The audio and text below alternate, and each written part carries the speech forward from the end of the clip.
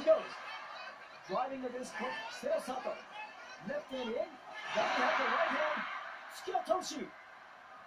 down win for Kotoshogiku. And Kotoshogiku scores his second Kimboshi. Back-to-back Kimboshi giveaway by Serasato. That's his 11th Kimboshi giveaway.